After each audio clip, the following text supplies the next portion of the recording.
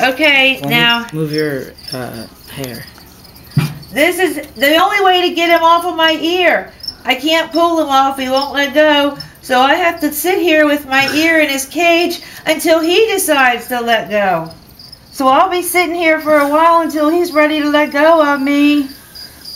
Give him something else to bite on. He, ow! It hurts. well, give him your finger. He'll let go once he's in his. I'm not putting. That'll make him clench harder. What? If you give him a I finger? I can't get him off of my ear. No, I say give him your finger. I know. I'll put him on the ground. Ah! He let go. Is it still videotaping? Is it still video? Yeah. He's mean. Tokay Gecko's mean, but he's cool. He's my little pit bull lizard.